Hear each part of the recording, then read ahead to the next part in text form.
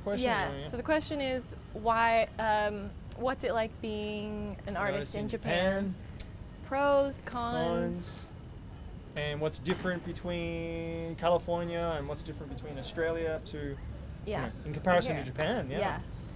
Take it away. It's a really tough question. It's a really tough question, actually. Um, mean, crazy tough, actually. how personal should I make it? Don't go too personal. No, no, not that Yeah, yeah, personal. oh, we don't know that yeah. No, no, no. I mean, I because in California I Yeah. was I didn't really do as much, you know, um, as much performing. Yeah. So when I moved to Japan, I really started performing, and I think it was being being here was why I felt I started to kind of come out of my shell. Oh, okay. And I think partially it was just being like out of my comfort zone already. Yeah. Um, and then I I feel like there's it's really people are really receptive in, as audience members in Japan. Yeah. They're like the most respectful Yeah, audiences you can possibly have. Yeah, I totally agree with that. Yeah.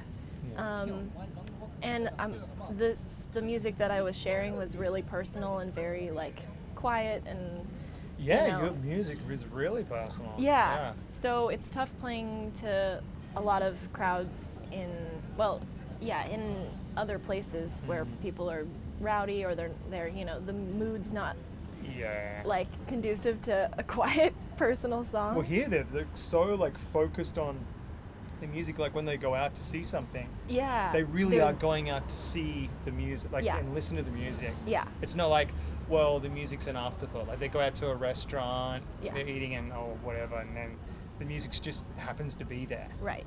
Yeah. Exactly. Yeah. So, So that I think that it's it's like a, a privilege to play here because you Oh, get yeah. those kinds of oh yeah. yeah that Remember we went on tour to Australia? Yeah.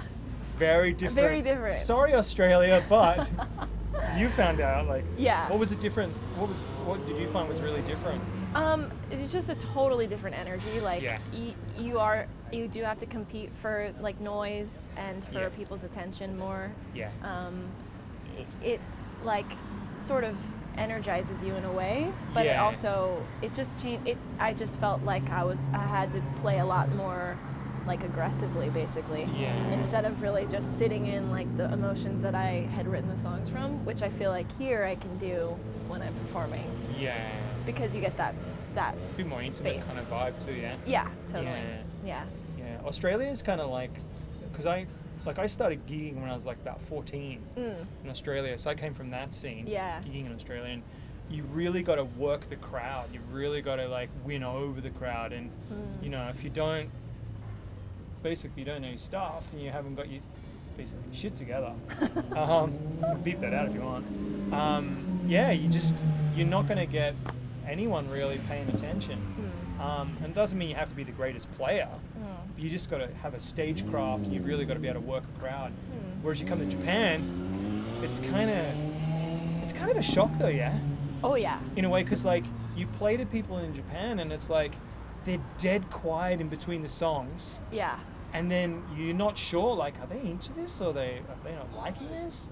And then you finish, and it's like, it's like, whoa, yeah Yeah. that's totally true yeah, Yeah. it's kind of a bizarre thing at first. I Mm. mean, there's other audiences where they'll be crazy into it, going cra- like moshing and all that, but Yeah. generally, yeah the the norm is to sit and just give you the stage and sit quietly yeah, like- sit quietly. It's like, yeah what? yeah so it is it's like disconcerting when you first when Yeah. that first happens Yeah, I think that was the biggest shock for me. mm, Was that just that difference, you know? yeah Other than that, I think uh, Japan on a whole is like way is way better than most places in that sense because they just love music so much. yeah They really do. Yeah. yeah totally Yeah.